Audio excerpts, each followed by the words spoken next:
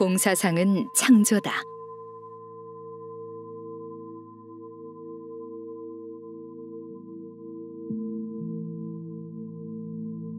대중이여, 공사상은 무상무아도 진공묘유도 아니다.